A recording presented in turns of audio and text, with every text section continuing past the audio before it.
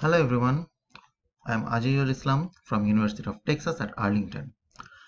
Today we are going to discuss about the Atterberg limit test of fine grained soil. So for Atterberg limit, usually there are two limits, liquid limit and plastic limit. Except these two, there are also one another limit, uh, that one is shrinkage limit. So the presence of water in cohesive soil can significantly affect the engineering behavior of fine-grained soil. So at defined water content, the state of soil varies. So let's say if there uh, there is more water, the state of the soil will be liquid. If we decrease the water content, it will go to plastic and if we further decrease, it will go to semi-solid and then solid state. So the liquid limit is that water content at which the soil will start to behave as a liquid from the plastic state. And plastic limit is that water content that at which the soil would, would, would start behaving like plastic. And also the shrinkage limit is in between solid state and semi-solid state. So if we plot decrease or increase in volume we define water content then we'll get a graph like this. So with increasing water content the volume of a soil sample will increase. And with the drying of water content that means with decreasing and the drying of soil the volume will decrease. But at a certain time after a certain time further if we further decrease the water content, the volume will not change. It will remain constant. That specific water content is called the shrinkage limit. And at shrinkage limit, the soil will be at 100% saturation. That means the degree of saturation will be 100%. So to determine the liquid limit of a soil sample, we there are uh, various methods we will uh, follow the Casagrande method. So in the picture you see the Casagrande apparatus. So these are the procedures. So at first we need to take some soil samples and we need to pass that soil sample through number 40 sieve. Then we'll mix the soil sample with water and we'll make a soil paste. We will, we will place that soil paste on the Casagrande device. Make just we need to make sure that the depth of that soil paste will be around 8 millimeter. Then we have a specific grooving tool. You see this is the grooving tool and with the use with the help of that grooving tool we will cut a groove like this. So the dimension of the grooving tool is fixed. So the groove we made it the dimension will also be the same. After that we will start blowing the apparatus. That means we will start blow, uh, blowing the Casagrande device. So while cutting the groove the uh, soil paste will be divided into two. And when we start blowing the apparatus uh, with that energy it will uh, try to merge together. So we have to stop blowing when the two part of that sample merges around 0.5 inch or 12.5 millimeter. Okay? So at the time when it merges 0.5 inch we will stop the blow. So we will count how many blows required to merge that 0.5 inch also, we need to determine the moisture content of that specific soil sample. So we need to take a moisture can, we will weigh the moisture can and then we take some sa samples from here, then we will take the moisture, moisture can and the wet soil sample, then we will place it in the oven for 24 hours. After that, we will again wet the moisture can and the dry soil sample and with the help of those data we can easily determine the moisture content. So for each trial we will have one moisture content and one number of blows.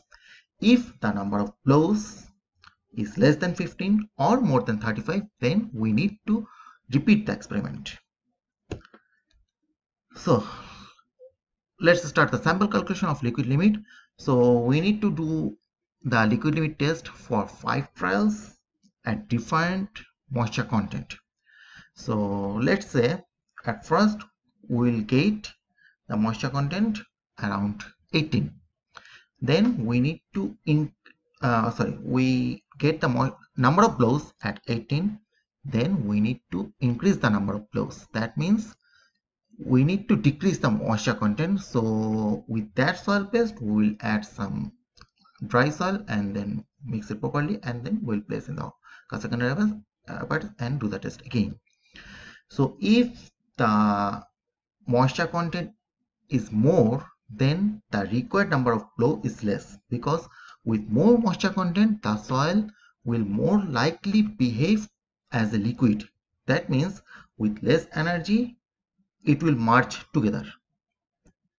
Okay. So we will get five number of blows and with that corresponding number of blows we will get five different moisture content values. So we have five moisture content values and five number of blows. If we plot them together in a graph actually in a similar graph we'll get five scatter point so in that similar graph, the y-axis should be the water content and the x-axis is the log scale and it should be the number of blows. And then we need to fit those points with a straight line. And that straight line is called the flow line. So the liquid limit of that soil sample will be at corresponding 25 blows. So we'll draw a vertical line corresponding 25 and from that straight line we'll go to the left and that moisture content is the liquid limit of that sample. And with the flow line if we determine the uh, slope of that flow line this is called the flow index. With the help of flow index and plasticity index we can also determine the roughness index so what is the what is the significance of this flow line of the slope of the flow line? So let's say we have two soil samples. Soil sample 1 is like curve 1 and soil sample 2 is like curve 2. So for the same difference in moisture level, they have different number of blows. That means if the curve is more flatter, then the required number of blows to change that moisture is more. So if the number of required blows is more that means it need, needs more energy to change that moisture content. So number of blows for the flat curve increase very much indicating higher shear strength. So the soils with same plasticity index may have different shear strength so let's start the plastic limit test. So plastic limit test is quite simple and we don't need a specific apparatus. We just we can use the palm of our hand. So we need to mix the soil with water again, but this time the there will be less moisture content because for the liquid limit test the liquid limit is higher than the plastic limit. So we'll add little bit of water with soil and then we'll try to roll the soil sample like this using the palm of the hand. So if we can go into a thinner thread then the moisture of that soil sample will be high. Then we need to decrease the moisture content. And again if we can't go to a thinner thread. Before it crumbles or it breaks into several pieces then we need to add moisture.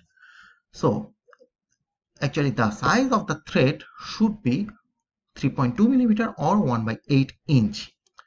So the liquid limit the definition of the plastic limit will be we will be able to make a thread of 3.2 millimeter in diameter and at the same time the thread will begin to crumble. So we have to give some trial and errors with this. So the exact plastic limit is we will roll the soil sample till 3.2 millimeter diameter. If the soil crumbles at 3.2 millimeter diameter then this is the exact plastic limit so then we'll we'll do this for three different trials and again we will determine the moisture content so the plastic limit will be the average of these three trials so if we know the plastic limit and if we know the liquid limit, then we can determine the plasticity index. Plasticity index is nothing else just the difference between liquid limit and plastic limit. And plasticity index is a very important parameter for our engineering purpose. So high plasticity index soil, that means high PI soil is actually bad for construction purpose and low PI soil is good. If the PI is high, then there will be much volume change when the water will go through it. That means if uh, there is any rainfall, then the uh, rainwater will infiltrate into the soil and with that moisture content, the soil volume will fluctuate. That means uh, it can go to settlement or it can expand.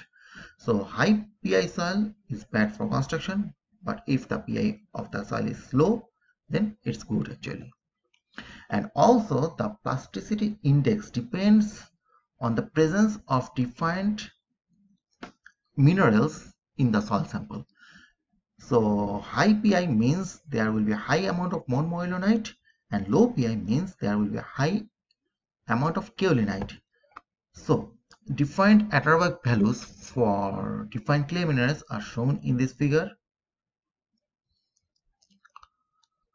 Also we have another limit that is called the shrinkage limit. So if we know the plastic limit and if we know the liquid limit we can determine the plasticity index and if we plot these in a chart this is called the plasticity chart. Let's say the point is a.